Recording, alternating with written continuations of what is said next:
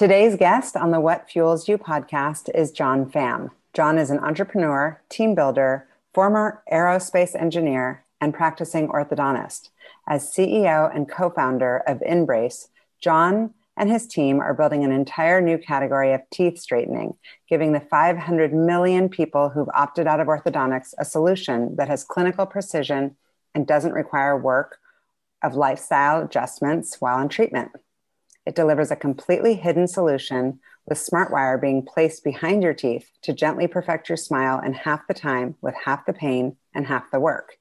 Prior to InBrace, John spent years as a Boeing engineer and startup entrepreneur, then went on to USC and graduated with a master's degree in craniofacial biology and completed a residency at USC. He also received his bachelor's degree in engineering and doctorate degree in dental surgery from UCLA. John now serves as a managing orthodontist for Bristol Dental and Orthodontics, as well as co principal investigator at USC's Advanced Orthodontics and Viterbi Engineering Group. He has been recognized in 2018, 2019, and 2020 when InBrace was one of the Orange County's top workplaces, and in 2019 and 20 when he was named Ernst & Young Entrepreneur of the Year finalist. He currently resides in Orange County with his wife and two children. Welcome, John. Hi, Shauna. Pleasure to be here. Okay, we're going to start with the interview. Um, I'm so excited, like beyond, with a rapid fire. You ready? All right, let's do it. Okay, given your business, I'm super curious. This is on the spot, but who's the best celebrity smile out there? Oh, there's so many HIPAA things I can't. Besides you, you've got a good smile. Look at those teeth. Thank you. Um, because of the HIPAA things, um, you know, um, unless people have given me permission or unless people have posted it on, you know, um, social media, I can't really mention. But I'll, I'll, say we we do have wives of basketball players, we have Hollywood stars, we have politicians. You know, I mean, this is really, you know, treatment for folks who want to get teeth straightening but don't want people to know they're getting teeth straightening. Yeah. So tell me about you. Tell me three words that would describe your leadership style. I, uh, you know, I'm a big basketball guy. So if I were to pick, I would say I have the um, ruthlessness of Michael Jordan with the teamwork of Magic Johnson. Um, I'm, I'm relentless. I'm empowering, and I'm scrappy. Love it. And I think I love the scrappy. Scrappy is a perfect basketball word. that that that probably comes from you know growing up, you know, first generation immigrant, right? Yeah. Parents were refugees, yeah. come and run a rickety boat, right? Yeah, um, I can't wait to get into that story. Okay, so if you could have any superpower, what would it be? These are good. um, entrepreneurs either live in the present, uh, in, in the future or in the past, and I think you call it superpower or not, just knowing how to be present and enjoying what you have today because it is about. Oh my gosh, that might be. I've asked that question several times. That might be my best answer I've gotten. The idea of being present is so aspirational for many of us, right? Yeah, I, I, I think you know really like I've I thought about this one, you know, too. Like, what superpower? Because you know, I mean, you you get asked this, and you ask this a lot too. And yeah, you know, flying and healing the world, and you know, um, have my superpower being having as many superpowers as I want. But that's I think, so smart, like I, the genie in the bottle. More, yeah, but but you know i think really like you know now that i'm getting to this point in my life um, it, it really is we always talk about about enjoying the journey. Yeah. It's learning how to be present yeah. you know um, um, are you an introvert or an extrovert? I think i lean more on being an extrovert um, I, I would I'm, guess I'm, that. but, but but i'm learning how to be how to appreciate the introverted side of things too. Yeah. Which, well, I'm sure the, pan- the pandemic like probably had an impact on that. The I'm pandemic guessing. definitely did. But this also goes to the the part of being present. And we can talk about this later if you want, but I'm learning the art of meditation and and oh, yeah, and, uh, wow. uh, and uh, what it brings. I definitely want to learn from you. Okay, so if you had an extra hour in the day, how would you spend it? Maybe meditating. um, if I uh, well, again, you know, we, we can talk more. I mean, the title of this is what what fuels you, right? Um, and a, lot of folks listening here were probably all workaholics, but um, that that that hour is being present, whatever it is that I'm doing, you know, with my family, in my work, um, or by myself. Yeah. That really is what I would do. Well, if you could have dinner with anyone in the world, I guess maybe living or someone who's passed away, who would you choose? I've always really wanted to meet Thomas Jefferson. It's a good one. Yeah, um, you know, I he he was a Renaissance man. He was an engineer too, um, and I'm an engineer by training. So, you know, he had the vision to start um, uh, West Point, um, and and you know push science and you know uh, math and all those things. And um, yeah, I, I thought he did a lot of amazing things. Okay, so this is my final rapid fire, and then I'm super excited to get into your life. Um, okay, so if there was a book written about your life, what would it be called? You do you. Nice. I like that I, title. I, I That's think awesome. I think it's just you do you. I think um, a lot of us go through school um, watch commercials, um, read books that all try to tell us who we should be and how we should act. And I think really in this world, it's about doing you and finding out what fuels you, what defines you. Um, and in doing so, we can talk about this too. Is you know you would create your own category and not fit inside someone else's category or box, right? Yeah, I um, love it. I would read that book. I'm reading that book for sure. And Shauna, I had to become an engineer and then a dentist and then an orthodontist just so I could figure out that I'm an entrepreneur at heart. I love it. Well, they're all blending together to make the perfect product that we're going to talk about. It sure. makes sense. Okay, yeah. so tell us, you're you grew up in Los Angeles, son of immigrant farmers. Um, tell me, tell our listeners all about your origin story. It's so inspiring.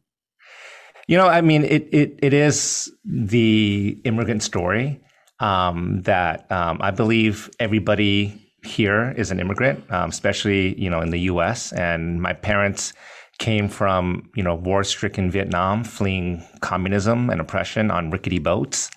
And when they got here, all they had were these you know seeds in their pockets, right? Um, and uh, we settled on the east side of LA. Um, where we didn't know any better, you know, wherever there was free soil, we just plant. I call it ghetto farming, you know.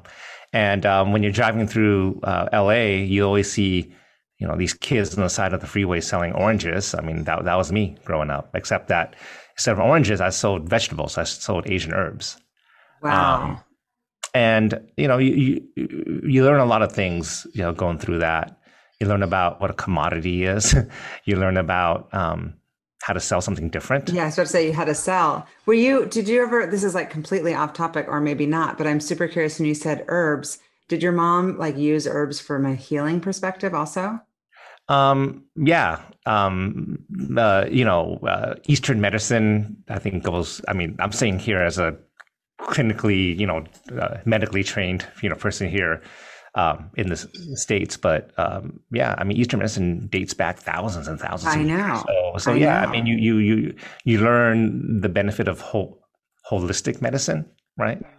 Um, but you know, we, we, we planted like bok choy and Asian basil and mints and you know all these things, and that's what we sold. I mean, I vividly remember going to the Nine Nines uh, Ranch Market, which is a you know big Asian market here in Southern California, and we'd we'd show up at eight o'clock and sell our boxes full of vegetables, and then at eight p.m. at night we'd come back to the same store and go around the back and jump in the dumpster to dig out these boxes and save 10 cents. I I read about that and I loved that story and I was thinking that actually probably has influenced somewhat maybe consciously or subconsciously like how you lead a company, how you manage how you you know manage the P&L just yeah, all you, of it like where can we where can we cut yeah there's, there, there, there's a lot we can go with all these things but yeah i i learned a lot i i, I learned um, there are times to work on the business and not in the business i mean there we were working in the business trying to save For sure. Cents.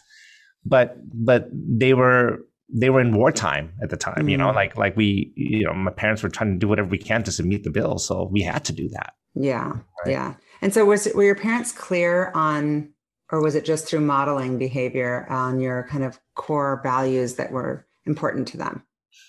Um, there were certain things that were, you know, um, always reinforced, right, um, in our in our family.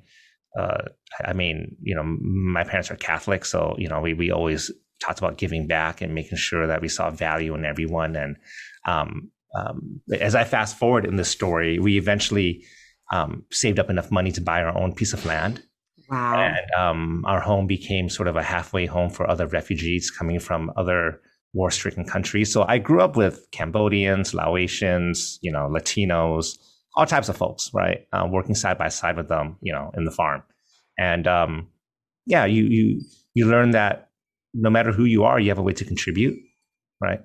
Um, I learned that um, no matter if it's raining or sunshine or hail or whatever it is, you, you still farm, you still do what you can. Mm-hmm. I think mm-hmm. that's that, so that's the, the work ethic part. Yeah, yeah, that, that's the entrepreneurial spirit, right? Yeah. Um, and the the last thing is that I also learned that I hated farming. so um, and we can talk about this now or later. But the first thing I did when I got to college was I actually dropped out. Yeah. Yeah, I, I read about that, and you told your mom you were like, "Don't worry if it doesn't work out, like with the startup, that you're going to go back." Yeah, so so pursue so, medicine. I love it. So, um, uh, if you if you want to talk about that, yeah, now, you know, uh, well, but- well, I do want to ask you a couple more things because I'm always super curious about parents and teachers and kind of how they influenced you, and I'm just curious: was there a a person or a moment where you had a realization that you would go on to do bigger things?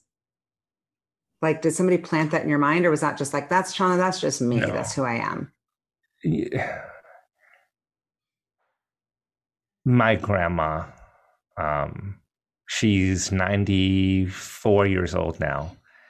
She survived through World War II, the Korean War, you know, refugee, um, you know, all these things. She defied the odds you know all the whole way through. So she she did instill in me sort of um, this notion of you know don't let people tell you how things should be. You define how things should be, right? I love that. She's such a winner. I mean, she's so stubborn. She still walks herself to church every day, you know.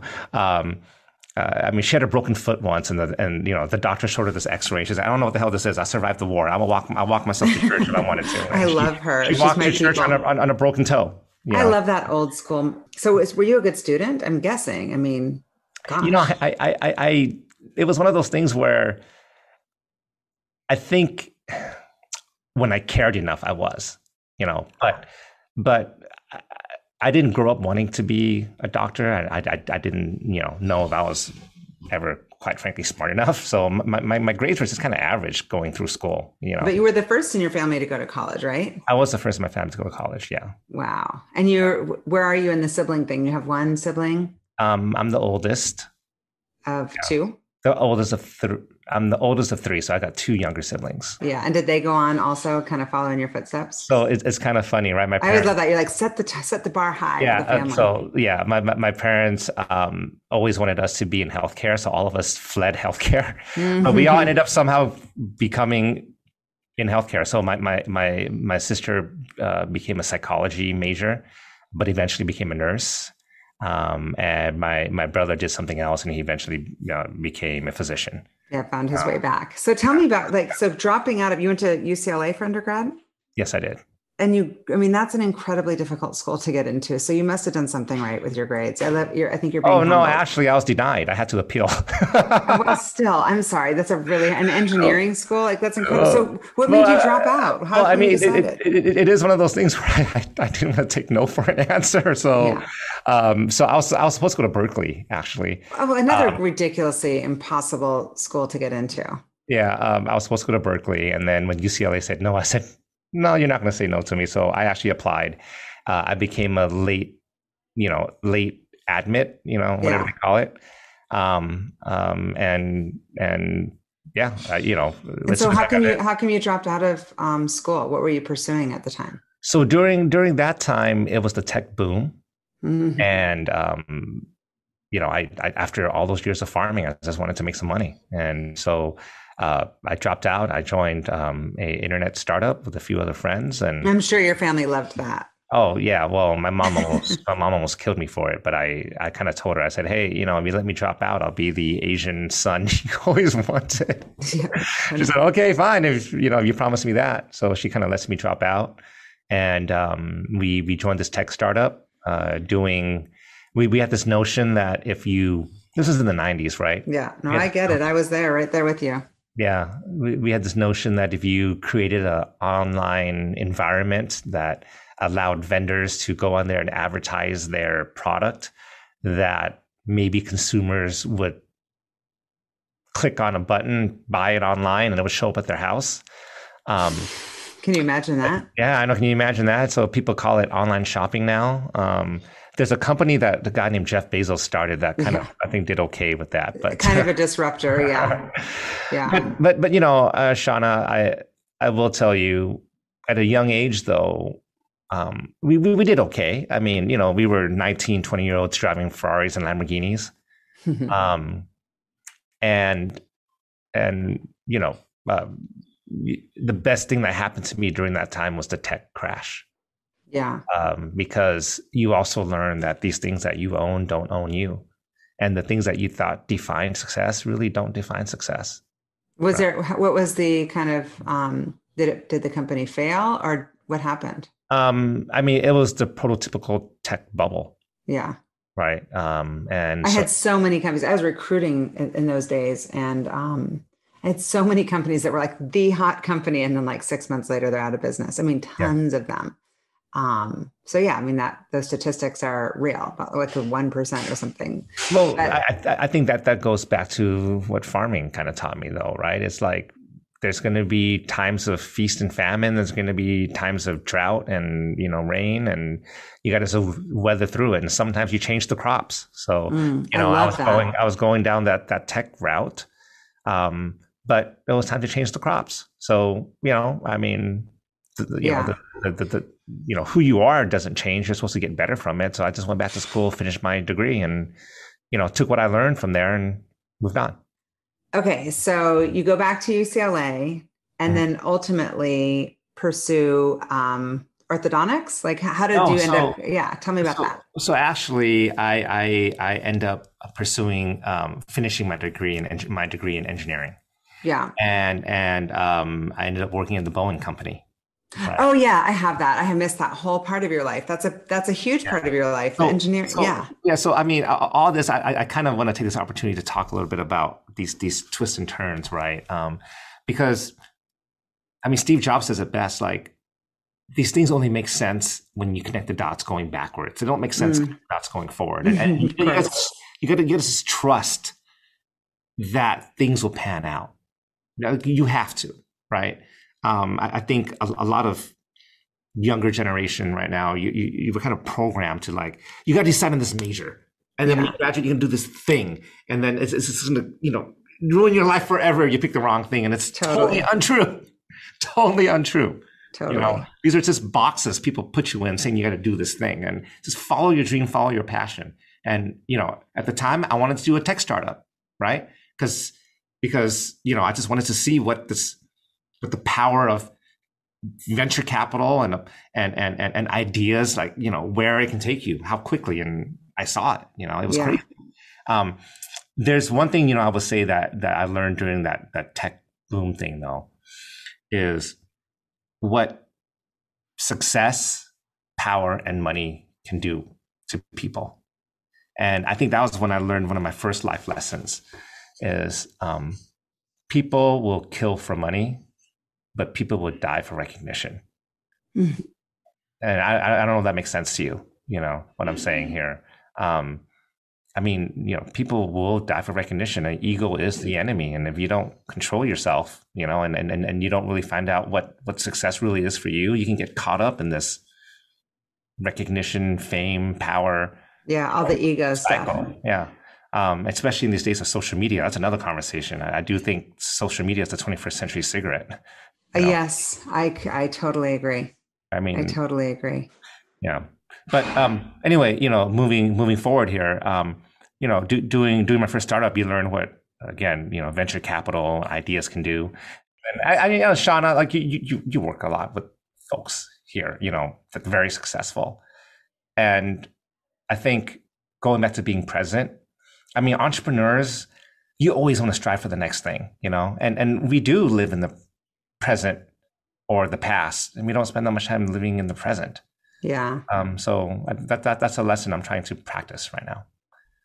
Well, I think it's incredible that, you know, it's just even being in that growth mindset to know that you have areas and blind spots um, is everything. And I have to say, I do meet a lot of um, incredible people. There are people who you can tell are leading with their ego and are focused on um, recognition and money and power. But generally speaking, I feel like if you can just get down to the core and you're just really authentic off the bat, like that's just who you are, you kind of lead with your heart. At least that's my impression of you.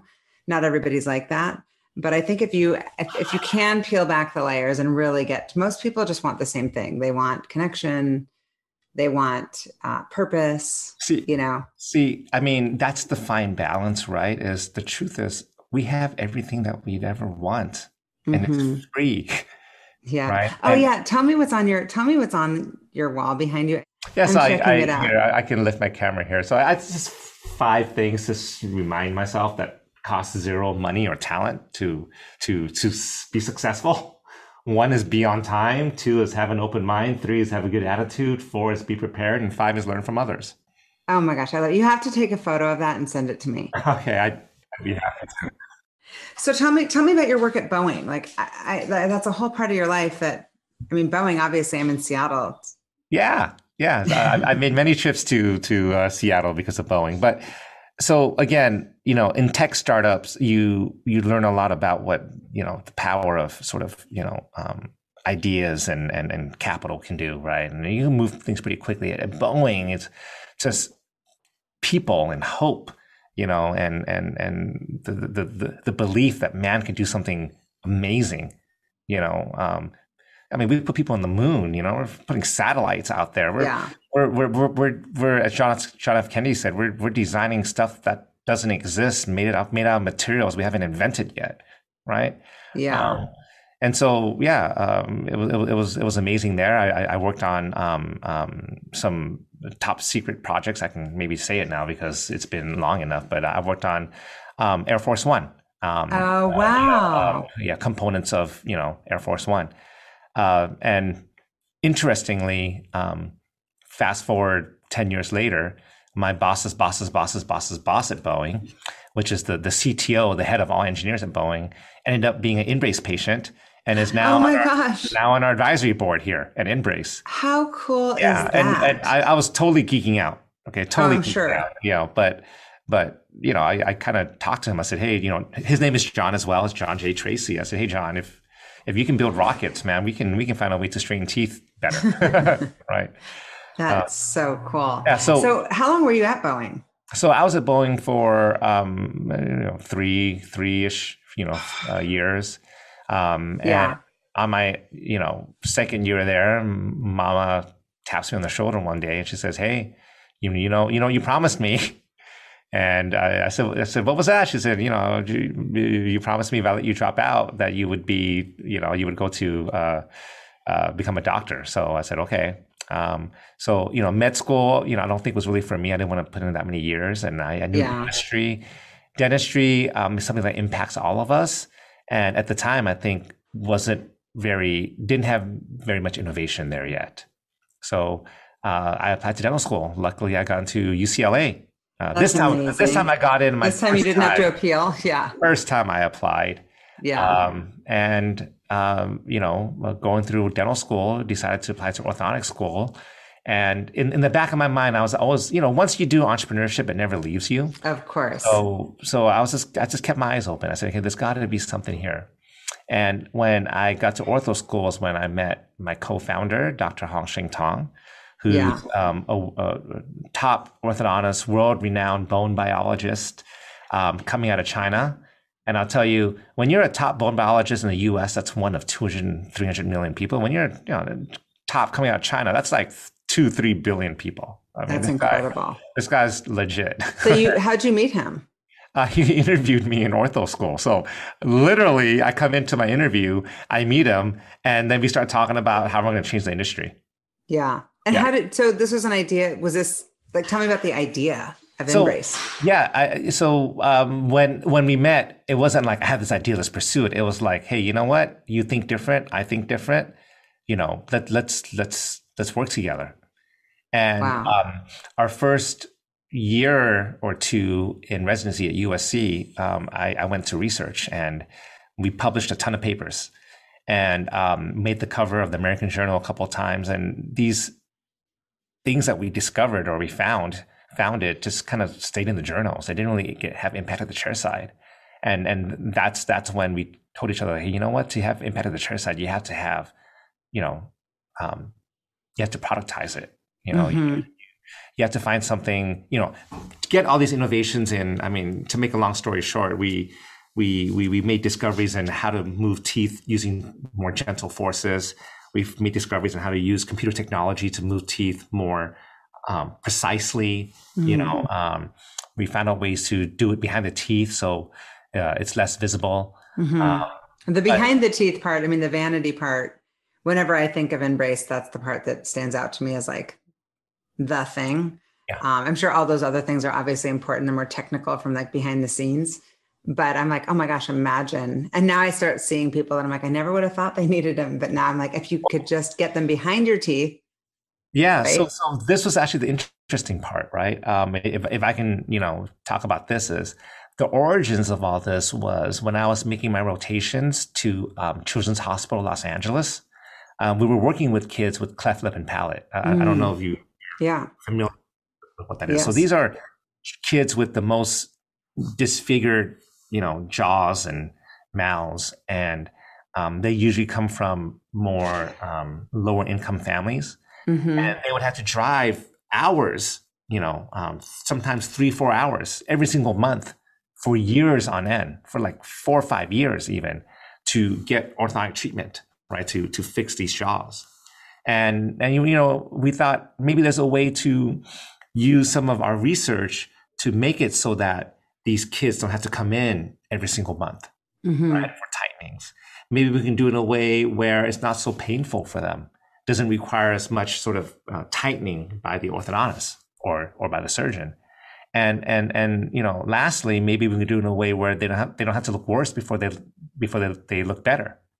And we found that you know what these needs that I listed out applies not only to kids with cleft lip and palate, it applies to people like you and me. Everybody, yeah. audience. Uh, my youngest patient, my youngest InBrace patient is eight years old. My oldest InBrace patient is 80 years old. And so that was sort of the early genesis of InBrace. Yeah. And so, so you have this idea, right? And then you're thinking, okay, now we have to productize it. We have to fund it. Mm-hmm. We have to name it. Yes, yes. How did all those things like walk me through? I always love that part. Like, are you sitting in a room and you guys like, okay, let's just think of the name and how, who are we going to call? And it's yeah. such a, it's such an uh, not maybe it's not off the radar as an industry, but in my mind, it's not necessarily the VC on the radar, uh, you know, field. They're not thinking about orthodontics. Well, there's there's always, you know, if I can kind of shoot it straight, there's these sexy innovations that everyone wants mm-hmm. to be into, you know, like you know. Well consumer your consumer products like yeah of course. 3D Airbnb, Airbnb yeah, Airbnb thing. and self-driving cars and you know yeah. all those things. And you know um, at the time I'll tell you it's it was hard to get funding for teeth straightening right? Right. I'm like thinking who's yeah. So so we we we couldn't get VC funding so I had to apply we had to apply to these business competitions. Mm. where like literally you would go there you you'd, you'd have half an hour to pitch. And you'd pitch. Yeah I've been I've been a judge at a few of those things. Those are fun so, um, uh, uh, you know, we we pitched it our first one, and it was a check of fifty thousand dollars. And I remember I had to like rehearse looking in the mirror, saying, "We need fifty thousand dollars, and if we got it, we would change the world." Right? uh, and we competed against three D printing, you know, cancer therapeutics, and all, and we ended up winning right? It's amazing. And, and the next competition was $100,000 and the next competition was $150,000 and then 200,000 and then that check became 20 million and that check became 45 million and Okay, wow wow, this is incredible. I love it. I mean, so you you you go from business competitions to angel funding to VC and then investment bankers and the story just became bigger, the checks became bigger. And there's one thing that I will tell you, Shauna, is that um time and time again people would come up to me. I'd ask them like, why, why this? You know, um, you know, over there you got cancer therapeutics. Why not fund that? And everyone told me like, you know, InBrace, it may not save lives, but it definitely changes lives and it impacts all of us that are in this room that are listening to this podcast. And it's definitely yeah. that all of us would use if there was a different option. And, yeah. And and this goes into again, you know, when I talk about building your own category and challenging the status quo, I think there are so many things in this world that we've just come to accept what it is because society told us it is. And it takes entrepreneurs or people who are willing to question and ask why to say, well, does it really have to be that way? Do taxis really have to be stinky and exactly and on call? And yeah, would people actually give up their home and let somebody sleep in their bed? Like, yeah. ew, like that seems crazy at the time. And this is a whole another thing that I'm very passionate about too. It's it's um, I think people who create their own boxes or create their own categories, they understand like it, it's not just just about making something better, faster, cheaper sometimes the world just wants something different. And, mm-hmm. and you need someone that's willing to be different and embrace themselves. Yeah. Well, yours also is better. It's not just different, it's better. Like, can you imagine how many people? I mean, I'm just thinking like when you're going to raise money, it's not just that it's a great story that it helps people. It's also like, think about the total addressable market. Yeah. It's like, well, hi, everyone, all humans. So I, I think that's that's the thing, right? So again, um, if I can go into some stats here. Yeah, I want. Out of every four people need some kind of tooth movement. Right. right. Okay. Yeah. So in the U.S., you know, if you account for so I said there's like a 300 million plus, you know, population. If you account for household incomes over 75,000, that still amounts to about 185 million people who could afford teeth straightening, who need teeth straightening, but are not spending money on teeth straightening. Right. But they are spending money on Botox, LASIK, hydrofacial, beauty health products, you know, lipstick, you know, teeth whitening. Right? Teeth are the most essential of all of that. Yeah, well, like someone's got a beautiful face, but the, the like jacked up teeth. No offense. Well, I mean, I, I mean that can that can be argued, and what I would say is people who care about their skin, people who care about their lips, care about their teeth. Yes. And I mean, I'm you know, if I can just do a little plug here. Did you know, Shauna, that um, if you have straighter teeth, your teeth look whiter? because you know the light reflects better on your teeth. Yeah. Did you know that if you had straighter teeth, your lips look fuller? Right, fuller. So well, you also look. You're also more likely to smile, which gives off positive energy, which yeah. I mean gives every kind of result under the sun. So that's definitely true too. And um, the point I'm making with that sort of note is that people who think about getting Botox and fillers are prime candidates for InBrace because mm-hmm. again, your, your, lips look fuller. People who get teeth whitening are prime candidates for InBrace because your teeth look whiter. People yeah. who are younger are prime candidates. So these are things that people just don't know because yeah. The general public thinks of orthodontic care, teeth straightening as mouthful of metal. Yes, and nobody wants that at a certain age. My dad got braces when he was like 40, and I remember it was like a very big deal. Or, or, and, or like yeah, or like these nasty trays you got to take in and out. And getting, I mean, if you think about adults, which is the untapped market, right? If, if, if you, for some reason, missed out on getting teeth straightening when you were young, right?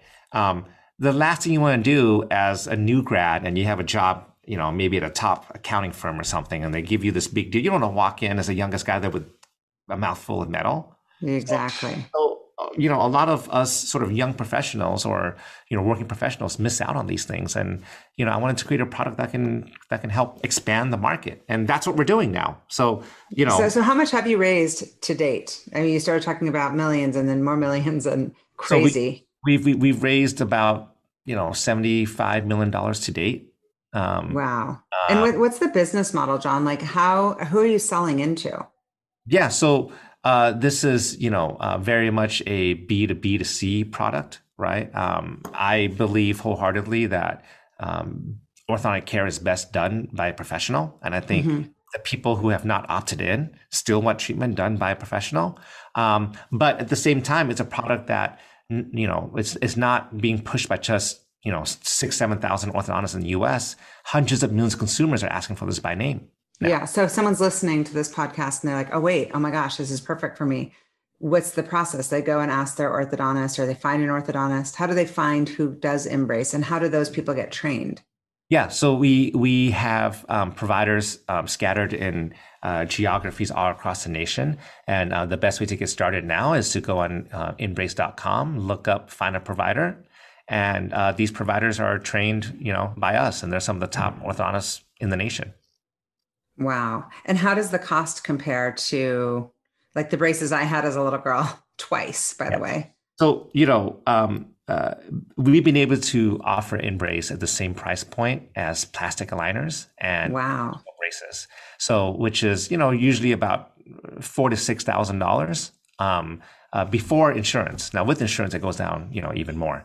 Um, and everybody's um, malocclusion or teeth and mouth are different, so it's best to come in and have a uh, InBrace provider um, check you out. But what's what's important is if you if you take a look online, you'll see that behind the teeth treatment has been before, but it hasn't ever been mainstream because you know they just took braces on the outside and put it on the inside. So they took something that was painful, required a lot of adjustments, you know, um, put on the inside and made it even even worse, right? So um, uh, behind the teeth treatment generally costs about twelve thousand dollars. That's with the old technology.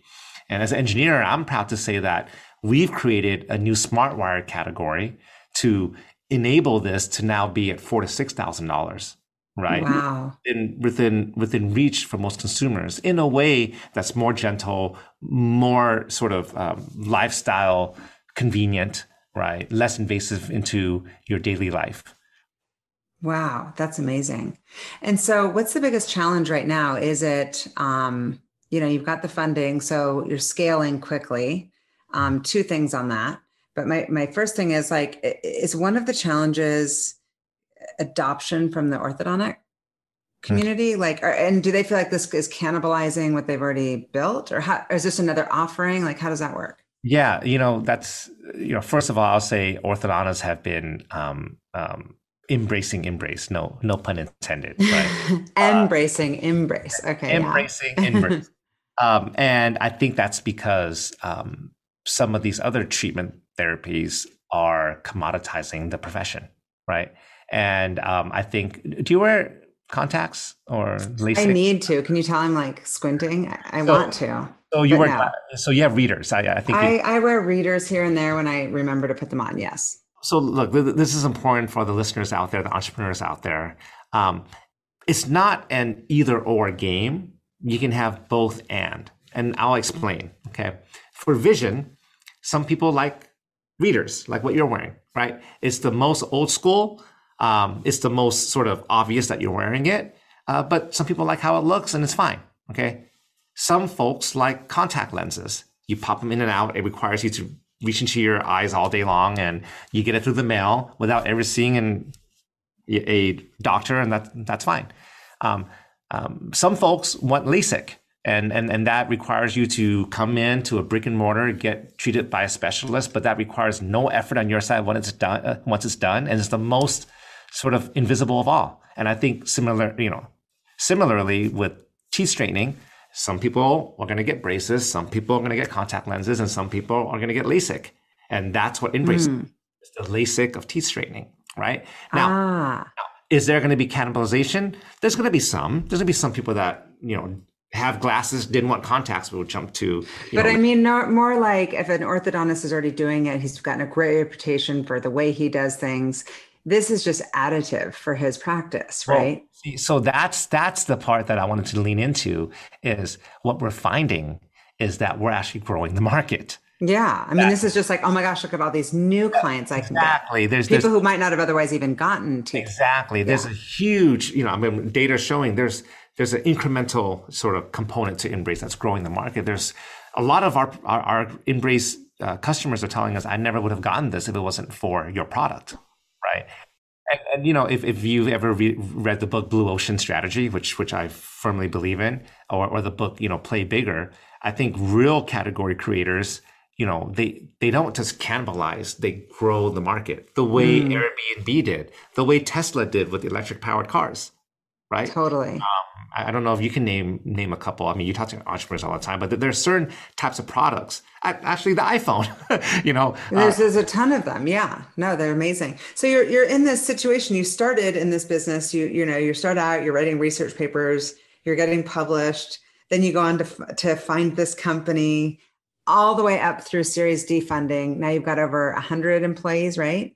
Yeah. Oh, yeah. We we we have about 200 employees now, and oh, know. 200. Wow. So you're in this like crazy scaling, fast growth, and I know from you that culture and people are at the forefront of kind of um, what matters most to you.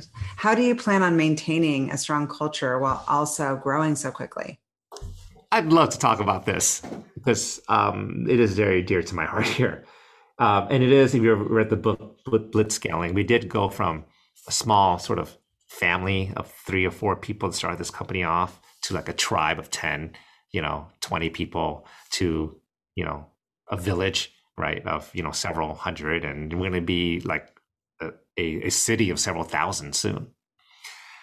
And you, i mean i'm sure you heard these stories early on. Everyone knows each other's names. Everybody mm-hmm. knows quirks. You, you, know what the guy's going to order for lunch right? Totally.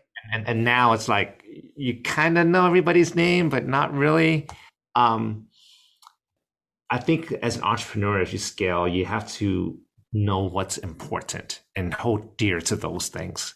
And at this point, it's maybe two, three things, you know, um, and and um, the rest you have to just trust the tribe or the village will self manage itself.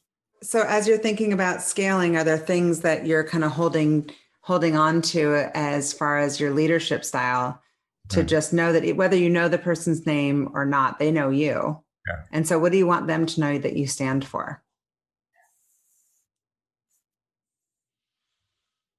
what's important for people to know what we stand for here at InBrace is that um, we, we do what we say we're going to do.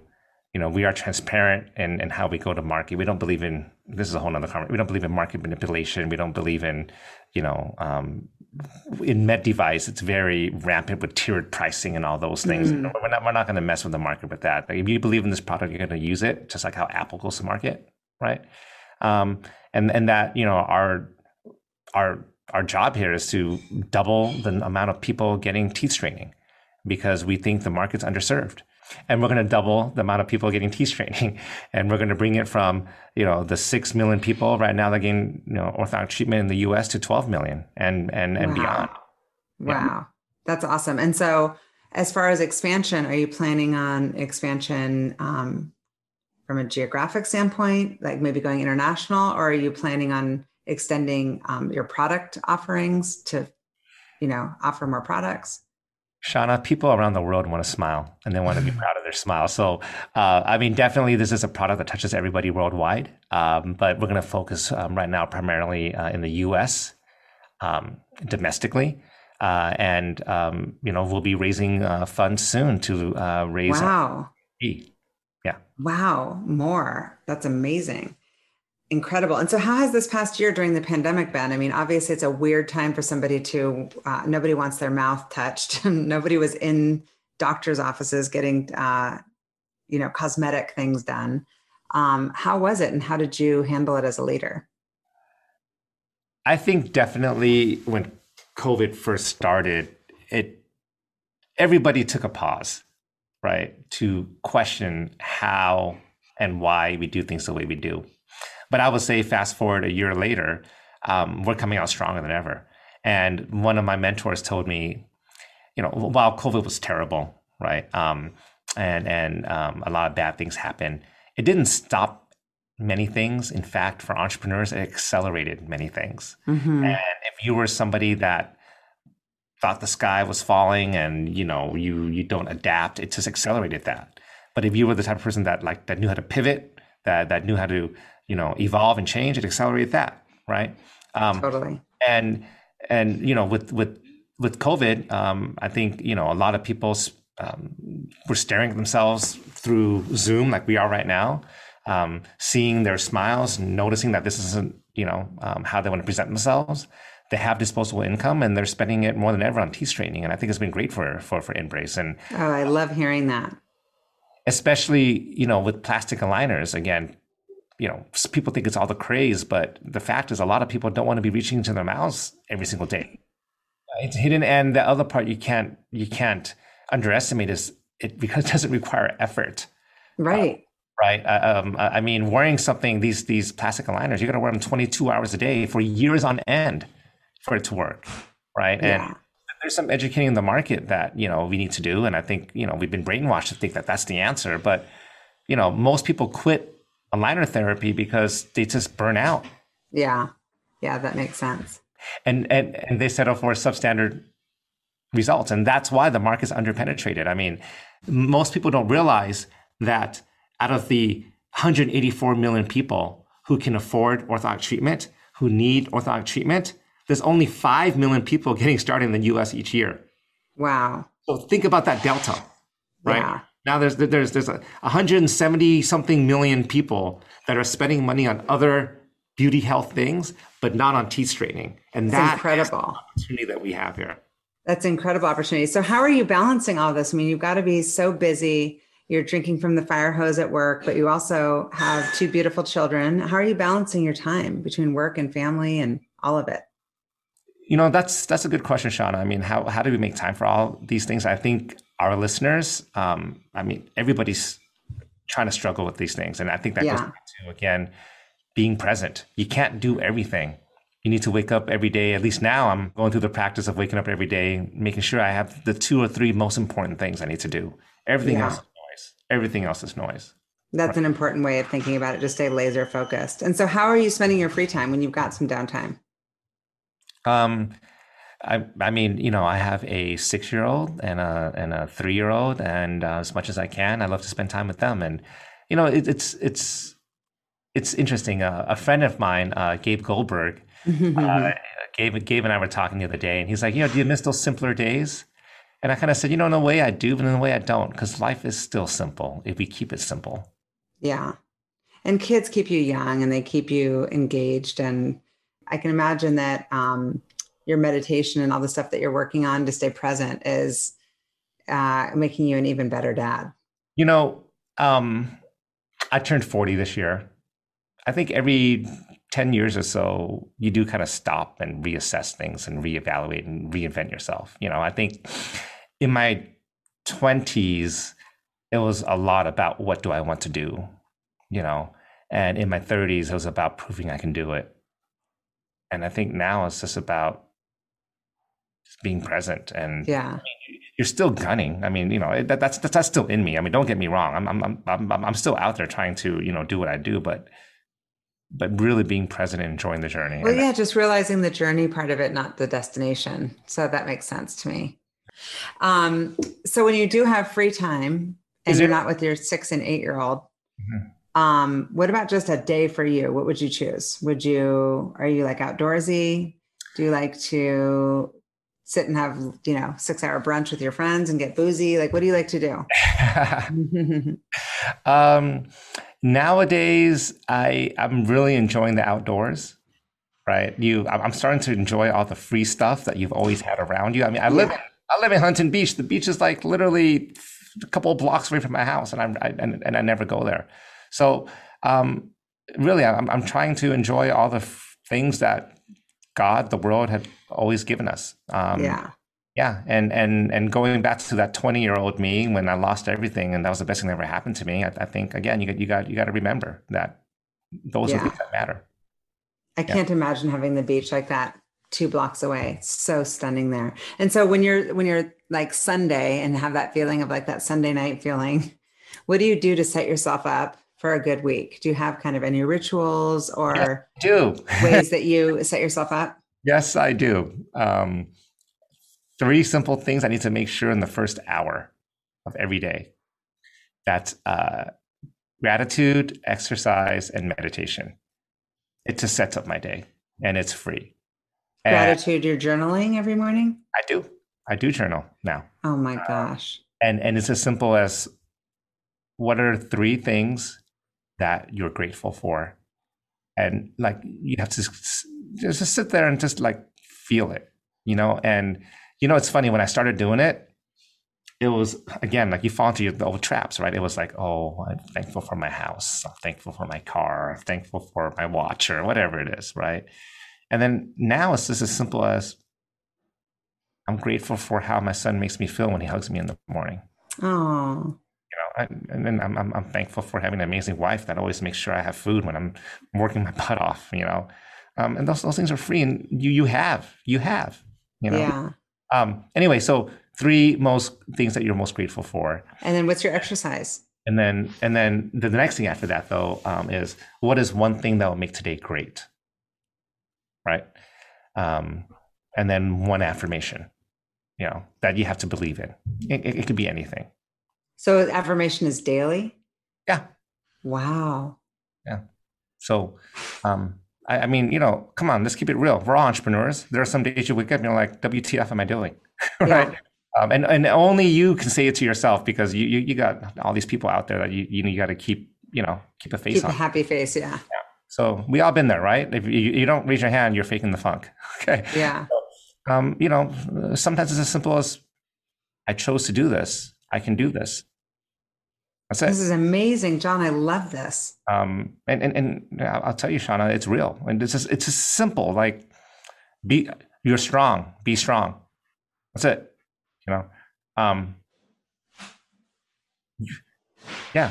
Uh, so I think that my my post my post, my most powerful one is you chose this, you can do this. You know, oh, actually, yeah. one of them is one of them. I tell myself is you're playing with house money at this point, which means you're ahead. You know, yeah. and yeah. I mean, I think I'm I'm digressing here, but this started off as a master's thesis for me in school, right? And when I started off, it's like climbing a mountain, right? You just kept looking up because you're at the base of the mountain. You just kept looking up. You just take one step, one step, one step, one step the times when I falter is when I look down. Hmm, interesting. Because every step forward is the same step. Every decision is, I mean, the decisions are different because you're making billion dollar decisions now, not thousand dollar, you know, decisions. But but the difficulty of deciding is the same. Yeah, the same magnitude of like relativity. Take the damn step. Yeah, take the damn step. When you hesitate is when you fall, you know. So so um and so, so do you feel successful? I'm successful without all these things. Yeah, I would imagine, I would hope that from everything that you're saying, success that you, a, that you have, a, have had a moment to at least success recognize it. Success. I mean, you know, again, success is a feeling that's internal. It's not external. Mm-hmm. You have to, if I have to, I'm talking to myself right now. This is my morning affirmation here. Good. I'm glad to be a part of it. Let's do it together. And look, I mean, again, don't get me wrong. We're going to change the world. Yeah. Okay? And and and doubling the market, doubling the people who gain teach training, is just a outcome of the internal success where we need to believe it and feel it internally 1st mm-hmm. And, but you know, at the same time, if if you if you need that external validation to yourself be happy or successful, you know, so to speak, you're going to be freaking miserable, and you're going to be the CEO that nobody wants to follow, and you're you're going to wake up one day, look yourself in the mirror, and say, "WTF? Am I doing this?" You know, yes. it's okay to do it once a year, twice a year, but if every single day you're doing that, the passion's gone. Yeah. Um, after I I do my my morning meditation, or sorry, morning gratitude then it's um, 30 minutes of exercise. And I don't try to, I've, I've done every single type of thing out there, like this, you know, uh, um, uh, you know, trainers and freaking crazy regiments. And it's as simple as I have an Apple Watch right now. I got to close my ring, close my ring in the morning. That's it. Right. Whatever it takes to close the ring. Sometimes it's, it's going for a run. Sometimes it's going for a swim. Sometimes it's like yoga, you know, um, I'm going to confess Fitness Plus has this dance routine, this dance function. the other day, I was dancing to Backstreet Boys for 20 minutes. Oh my gosh, Gabe okay. Goldberg would be so proud. It's okay. I don't care. You know, yeah. it's uh, movement. You just got to move your body. And and it's about creating that momentum. Just every I, I do believe in routine keeps things going, right? So, 30 minutes of that, and then 10 minutes of meditation. That's where you just sit there, and after you get the endorphins going, sit there by yourself and enjoy that natural high and have your thoughts to yourself. And then you check your phone. Oh my gosh, that's so disciplined. That's incredible. Not, I, I am so, so big on this here. Do not touch your phone. Everybody here, especially entrepreneurs, the first thing you do is probably pick up your phone, right? I've been trying, John, for this for a long time. It's almost, it's like an addiction, weird you, it, Impulse. It's addiction. It's the other 24th century cigarette. Yes, it's, it's terrible. There's been uh, billions of dollars spent on making this a drug. Okay. Yes. So, so um, there's this quote that, that that I believe in is that you want to be a thermostat, not a thermometer. And when the first thing you do is check your phone, you are a thermometer. You're responding to the environment. But if you keep that first hour to yourself, and I'm, I'm learning how to do this, you, you start controlling your day. You're a thermostat. Mm. I love this. I have so many little nuggets I'm getting from you. I wish I could sit next to you all day and just have you, the the wisdom. You're dropping knowledge, John. I love oh, it. I mean, I'll, I'll, I mean, to be honest, this there's this other thing that I'd love to. I, I mean, you know, listeners out there, I found successful people find successful people to learn from. And I'm really big on mentors, right? So, um, you know, I think everybody should have, I mean, I'm sure you've heard this, everybody should have uh, a mentor that you learn from, a friend that you learn with, and, you know, a person that you can, you know, teach that can learn from you. And I think those three things. Wow. I love it. So my, my final question for you, John, is what fuels you? What's your ultimate fuel? We talked a lot here about meditation, which is really, in a sense, identity, you know, knowing, knowing yourself. That question's, you know, so insightful because I, I meet a lot of people. Yes, you, you do too.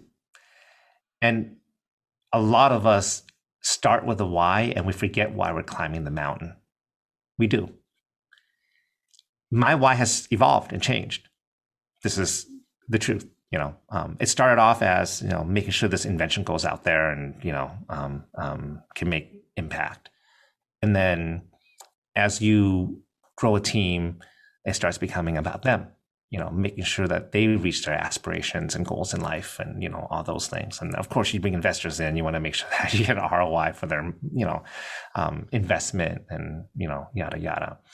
I mean, I am getting to the point in my life now where, you know, I do have some people that I mentor and I want to show people that you can, you know, you can um, write your own script, you know, um, not be put into someone else's box, right? Um, so my, you know, my very sort of tangible KPI is yes, I want to double the market, you know, but the intangibles is really what fuels people. And um, my in my intangibles right now, if anything, is um, other than impacting all the people's lives that we're going to impact as we grow the market and all those things, is you know it really is important to me that no matter where I end up in this mountain, and I don't know how high it is, that I want truly everybody listening, um, everybody out there that has been told how life should be or who they should be and what you know how they should behave and all those things just to know that don't climb someone else's mountain climb your own mountain. And wherever you end up you end up. Put a stake in the ground and be proud of it